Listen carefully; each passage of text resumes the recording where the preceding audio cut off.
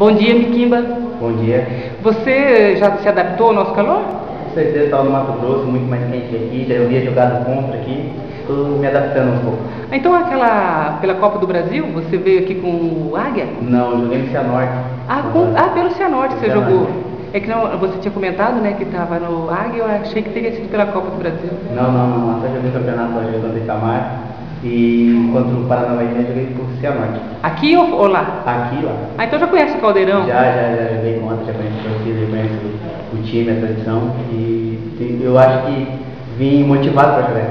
Não, eu acho que você deve ser um excelente. Eu sou, eu, eu sou muito curiosa em, em, questão de futebol, né? Entendo pouquíssimo, eu faço até de conta, eu brinco. É mais a questão de querer transmitir um pouco para o torcedor que não tem o acesso de conhecer vocês, de levar um pouco essa informação de cada jogador que está chegando para lá.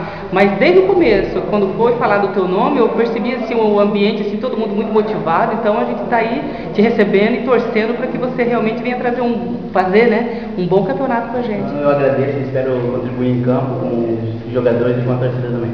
Qual que é a tua posição mesmo? Meia e segundo volante. Meia e segundo volante. Boa sorte, tá? Obrigado. Em 2010 você vai estar sempre aqui conversando com a gente. Obrigado.